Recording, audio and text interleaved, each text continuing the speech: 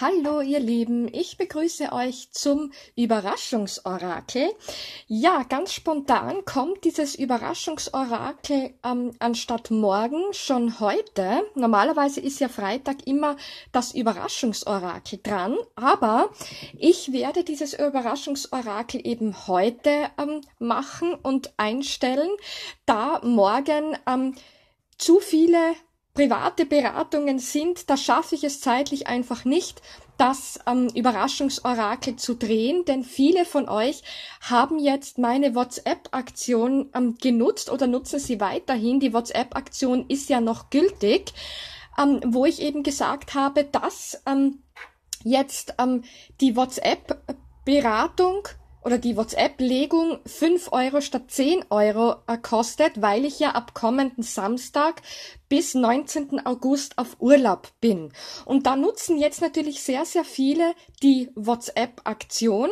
Das heißt, ähm, für alle, die es noch nicht wissen, gibt es jetzt die WhatsApp-Legung um 5 Euro statt 10 Euro. Und für alle, die ähm, per PayPal gleich bezahlen, bekommen die Legung noch am Fre also bis morgen, ja. Alle, die bestellen und ähm, per PayPal zahlen, damit das eben gleich auf meinem PayPal-Konto ist, bekommen bis morgen ihre Legung. Wichtig ist aber, dass morgen ähm, bis 13.30 Uhr mache ich noch die Legungen.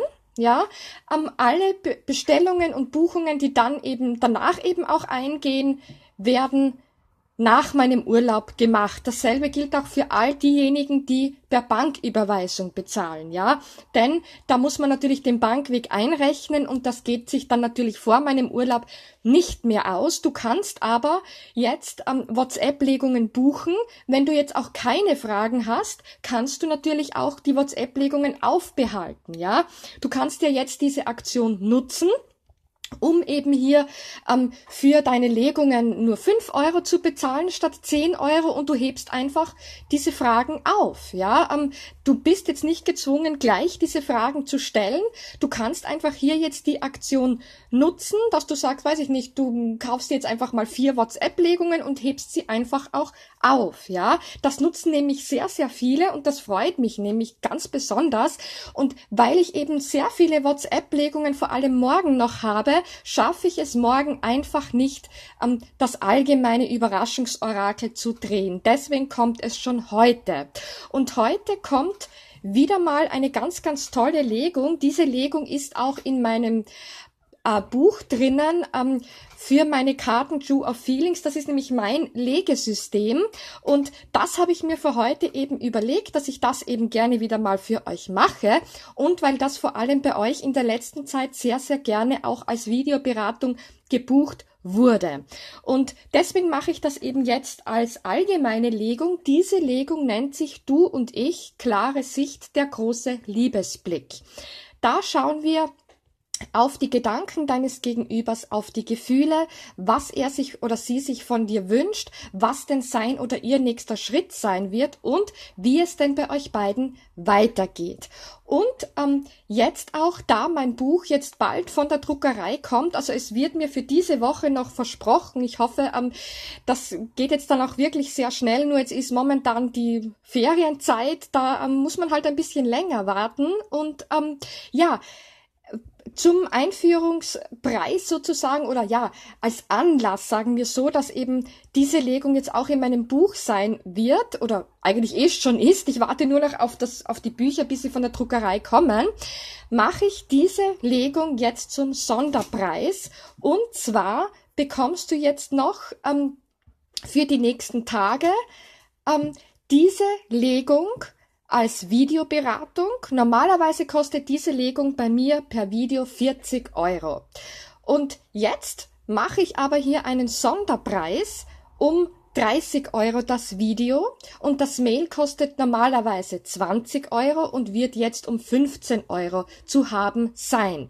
Wie lange diese Aktion jetzt gilt, weiß ich noch nicht. Ich werde den richtigen Impuls haben, dass ich dann, wenn ich das Gefühl habe, jetzt ist genug, ja, mit dieser Aktion wird, wird diese Aktion dann auch von meiner Website kommen und es gilt wieder der Normalpreis. Ja, also ähm, wenn du diese Legung gerne für dich nutzen möchtest, für dich persönlich, denn das ist nämlich hier eine allgemeine Legung, das kann nicht auf jeden zutreffen, dann nutze eben jetzt die Möglichkeit, genau diese Legung für dich persönlich, für dich und deinen Partner, für dich und deinen Wunschpartner zu buchen. Ja, da werden die gängigsten Fragen beantwortet, Gedanken, Gefühle, was wünscht er oder sie sich, sein oder ihr nächster Schritt und vor allem, und das ist immer auch die meistgestellte Frage, wie es denn weitergeht. Und das in einer Legung sozusagen.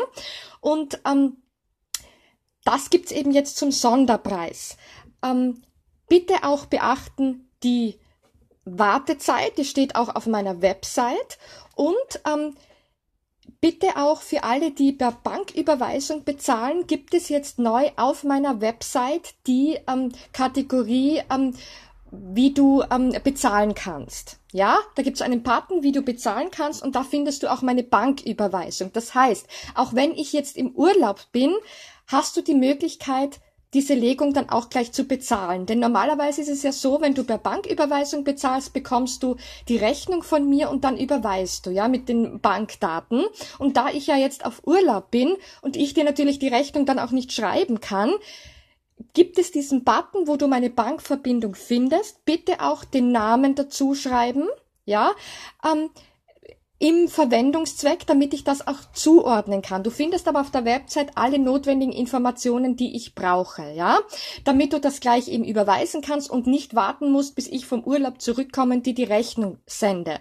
Du kannst es ganz normal per Bank überweisen und nach meinem Urlaub, weil wir sind ja alle selbstständig, sind rechnungslegungspflichtig, bekommst du nach dein, meinem Urlaub deine Rechnung. Ja, damit du einfach jetzt auch weißt, dass das eben ähm, so dann möglich sein wird, ja, und damit eben die Wartezeit eben nicht so hoch dann sein wird, ja, ähm, oder über die Wartezeit hinausgeht, ähm, kannst du eben dann Findest du meine Bankdaten, kannst du ganz normal überweisen. Das kommt dann natürlich auch auf mein Konto und dann äh, gilt natürlich diese Wartezeit. Ja, ähm, das ist mal äh, diese wichtige Information für alle, die per Banküberweisung bezahlen, aber die also 80 Prozent sind eigentlich eh, die per PayPal zahlen, dann fällt das ja aus. Ähm, denn da hast du dann eh ähm, die Informationen und das wird dann sowieso von deinem PayPal-Konto ähm, gleich abgezogen. Ja, also das ist nochmal die wichtige Information für alle, die per Banküberweisung bezahlen. So, das war jetzt einfach wichtig, das auch zu erwähnen. Und ich beginne jetzt einfach mal mit der Legung. Und die Legung äh, habe ich euch schon erklärt, wie sie aufgebaut ist. Und heute arbeite ich ausschließlich jetzt mit, für die Hauptlegung mit meinen Karten True of Feelings 1 und 2. Die habe ich zusammengemischt, denn es war euer großes Anliegen, weil ich ja das Einser rausnehmen wollte und nur noch das Zweier anbieten. Ihr wolltet das Einser einfach wieder haben und so habe ich mir gedacht, ich mische das jetzt einfach, weil das auch euer Vorschlag war. Und damit ist die Hauptlegung und zum Schluss bekommen wir noch eine Botschaft von Amor. Ja, ich hoffe, dass viele mit diesem, mit dieser Legung in Resonanz gehen. Und ich beginne jetzt einfach mal mit den Gedanken deines Gegenübers. Und da haben wir zum einen man möchte die Gefühle nicht wahrnehmen, man wehrt sich dagegen, also das ist ja in der Gedankenebene deines Gegenübers. Das heißt, dein Gegenüber oder deinem Gegenüber ist es einfach bewusst, dass man hier Gefühle nicht wahrnimmt und sich einfach auch gegen Gefühle wehrt. Dann haben wir, die Liebe gibt Kraft und Energie. Das ist auch in der bewussten Ebene.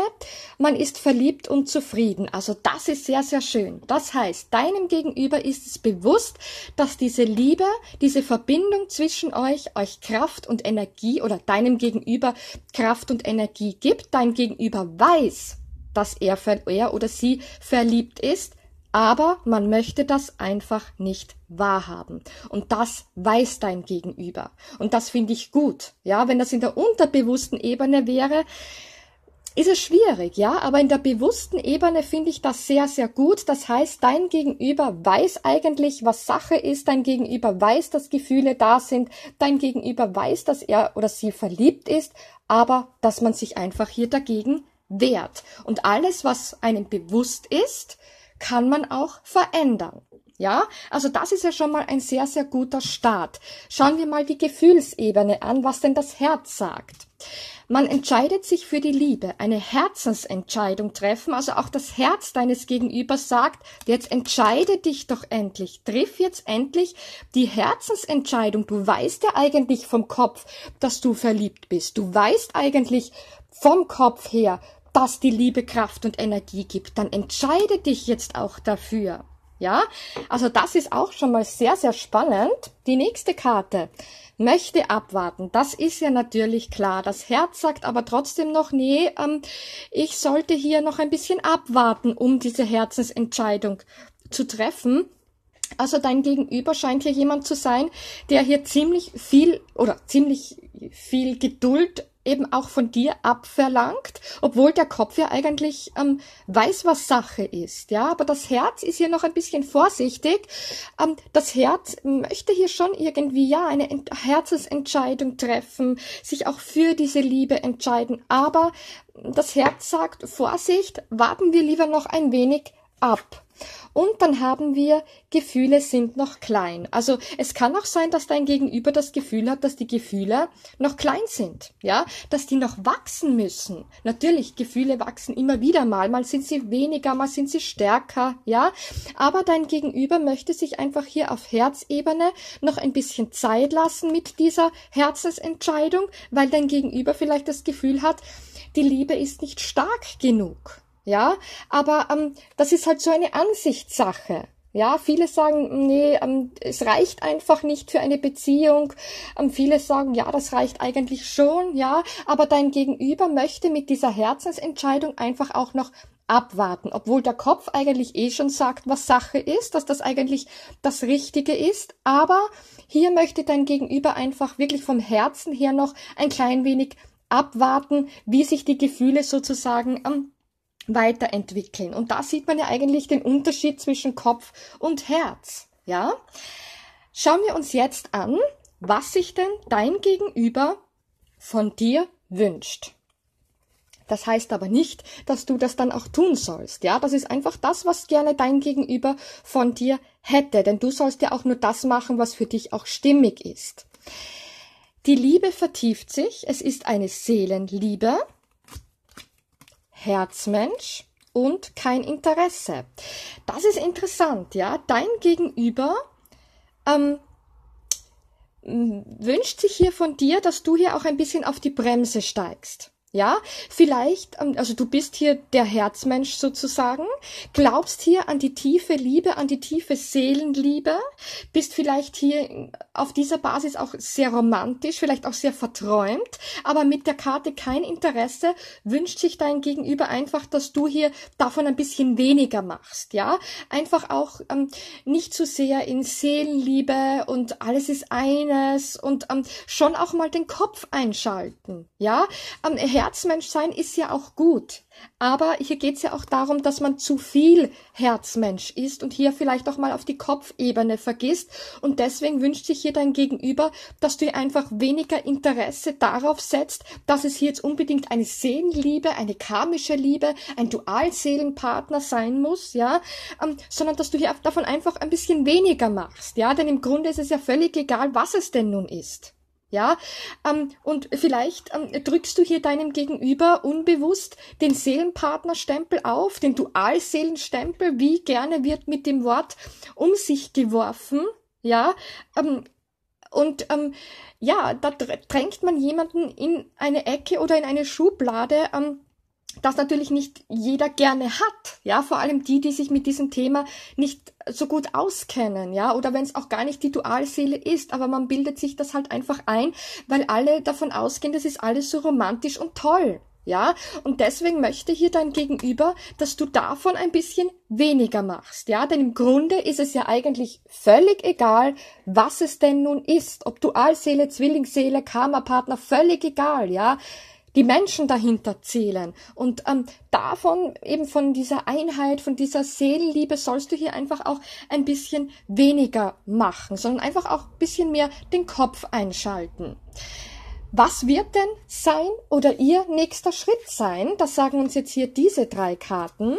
Seelische Verbindung, also dein Gegenüber setzt sich auch damit auseinander, fühlt sich sicher und Geduld, man braucht Zeit. Also dein, dein Gegenüber beschäftigt sich auch in Zukunft mit dem Thema Seelenpartnerschaft. Ja, wenn du hier ein bisschen weniger davon machst, kann dein Gegenüber hier sich ein bisschen für diese Thematik öffnen.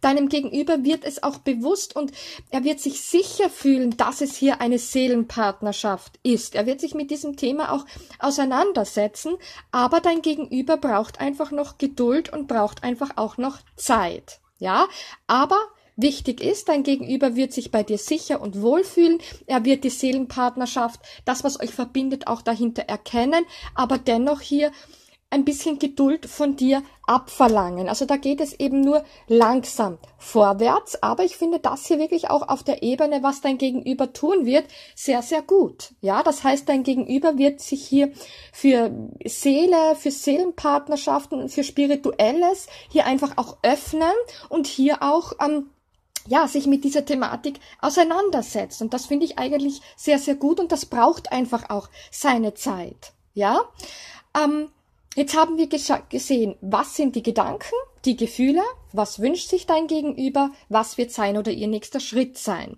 So, bleibt jetzt nur noch die Frage übrig, wie geht's denn weiter? Und das sagen uns die unteren sieben Karten. Möchte einen Neuanfang? Nehmen wir gleich die nächsten Karten hinzu. Ein Stillstand tritt ein, ein Liebeskummer ist vorprogrammiert und man möchte ja hier oder wir sollten ja hier die Karten im Kontext lesen. Das kann jetzt bedeuten, wenn ein Stillstand schon da ist, ja, dass im Stillstand ein Neubeginn kommt, ja, dass hier dieser Stillstand aufgelöst wird. Ist aber kein Stillstand zwischen euch, kann es sein, dass jetzt hier ein kurzer Stillstand am Eintreten wird. Das ist auch immer davon abhängig, wie denn eure Situation gerade ist. Ja, ist schon lange ein Stillstand, kommt hier der Neubeginn. Ist kein Stillstand, kann es eben sein, dass jetzt eben kurzfristig einer kommen wird. Ist aber nicht, muss ja nicht unbedingt schlecht sein, ja. Dann, die Liebe ist nicht echt, man täuscht sich. Das kann natürlich auch sein, dass dein Gegenüber dann ähm, oder dass man so das Gefühl hat, dass die Gefühle einfach nicht da sind. Aber wir wissen ja, dass die Gefühle da sind, dass dein Gegenüber hier eine Herzensentscheidung treffen möchte.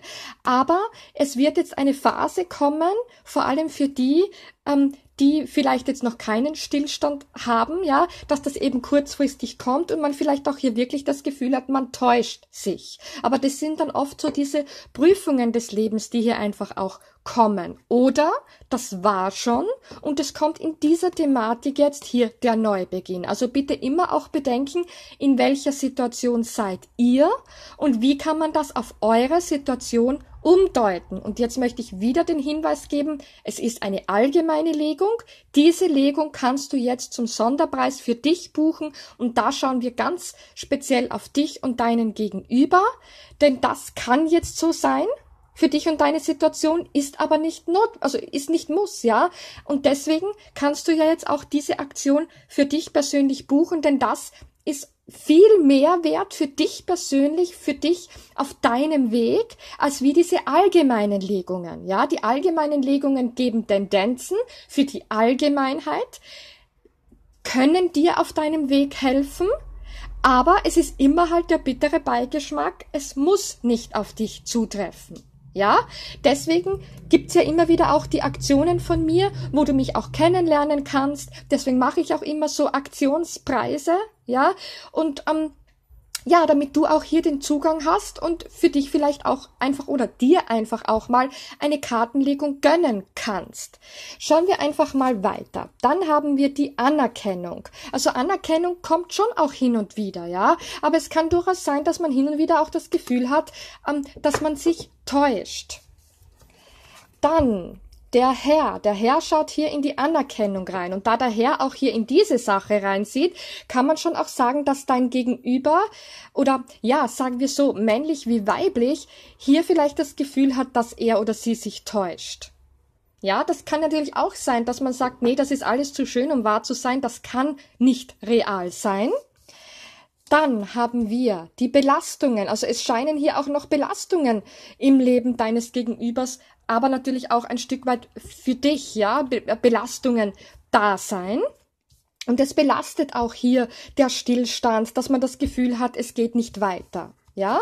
Und man bleibt der vorhandenen Situation treu. Das heißt, in der nächsten Zeit bleibt man dieser Situation, in der ihr eben jetzt seid, vorerst treu.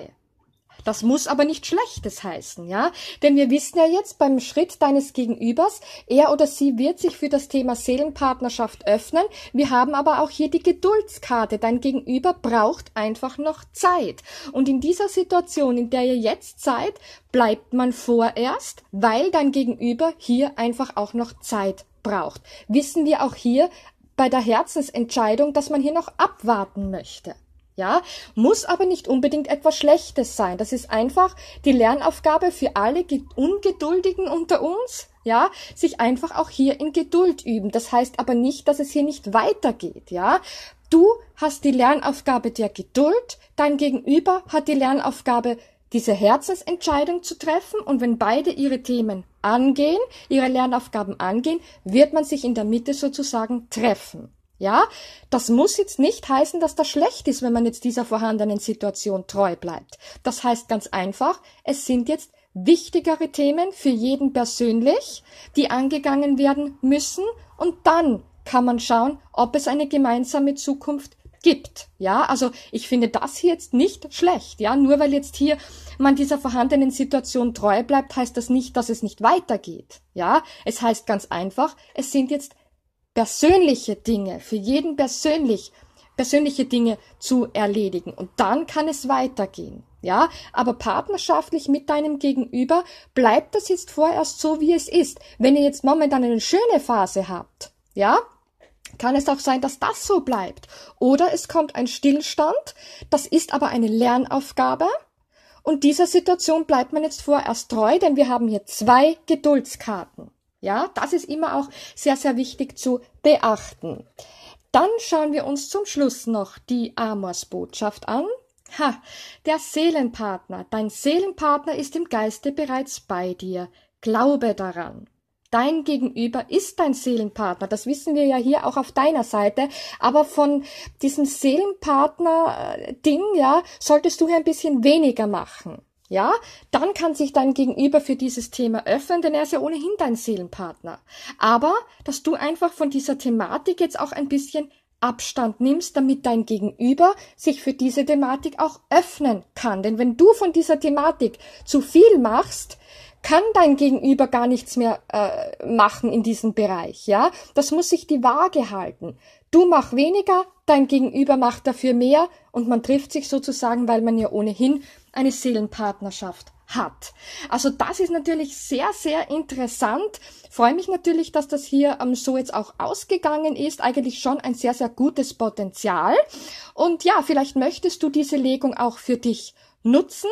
Nutze jetzt einfach die Aktion. Ich weiß nicht, wie lange ich sie jetzt ähm, noch mache. Sie bleibt jetzt einfach mal auf der Website stehen, bis ich den Impuls habe, dass jetzt eben die Aktion beendet werden soll. Ich wünsche euch eine ganz, ganz schöne Zeit. Ich, wie gesagt, bin ab kommenden Samstag auf Urlaub und ähm, ja, wichtige Informationen zu meinem Thema Urlaub habe ich ein Video gestern gemacht. Da sind wichtige Informationen für euch, die jetzt alle betreffen, die wirklich hier Legungen bei mir buchen wollen oder Legungen auch schon gebucht haben. Ja, da findet ihr alle Informationen. Ich freue mich, wenn ich wieder frisch und munter nach meinem Urlaub zurückkommen kann, wieder für euch da sein kann und ich wünsche euch eine schöne Zeit. Alles Gute!